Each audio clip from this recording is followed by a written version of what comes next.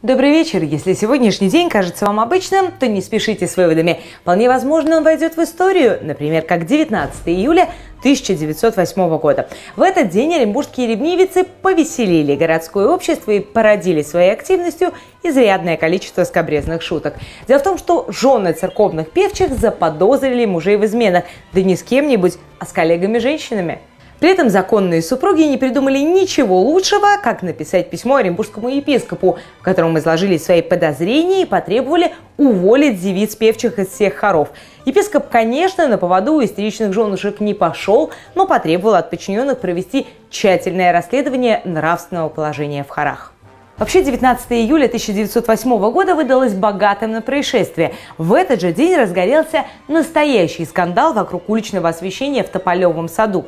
Долгое время фонари там работали вовсе без плафонов. На такое попустительство все дружно закрывали глаза, пока один из посетителей сада не написал возмущенную анонимку в газету. Господин П. прогуливался по аллее, когда почувствовал резкую боль в темени и запах гари. Инстинктивно скинув шляпу, бедолага увидел, что в нее попал уголь от фонаря. В общем, головной убор был безнадежно испорчен. Журналисты негодования господина П. безусловно поддержали и потребовали от владельцев сада привести фонари в приличный вид, то есть все-таки прикрыть их плафонами. А вот в 1913 году этот день оказался на редкость приятным. В Оренбурге давали представление фокусники супруги Франзо Казапарти. Слава о них шла по всей империи. В Ташкенте кудесники выступали перед самим великим князем Николаем Константиновичем, которого, к слову, сумели поразить. Еще бы, ведь господина Касапарди не зря называли «живой труп». Его шоу буквально шокировало публику.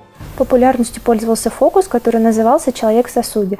Когда на фокусника надевалась смирительная рубашка, он опускался в сосуд с водой и должен был в течение четырех минут не только освободиться от рубашки, но и выбраться из сосуда с водой и при этом оказаться в зале среди публики. В 1958 году, 19 июля, тоже стал зрелищным днем. Ну, по крайней мере, для жителей Шерлока. Именно в этот день в районном центре открылся летний кинотеатр. Как тогда было принято, кинотеатр предназначался не только для, собственно, показа фильмов, но и был оборудован большой сценой, например, для концертов под открытым воздухом. Причем новый летний центр свободно вмещал до 400 зрителей, так что было где разгуляться.